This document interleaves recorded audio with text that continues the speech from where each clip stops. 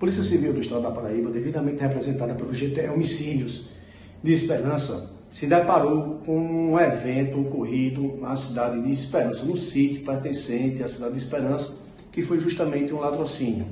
É, um popular veio a óbito durante uma ação criminosa em que dois indivíduos tentaram subtrair é, valores através de PIX dessa vítima, não conseguindo, é, durante o crime, durante a execução do crime,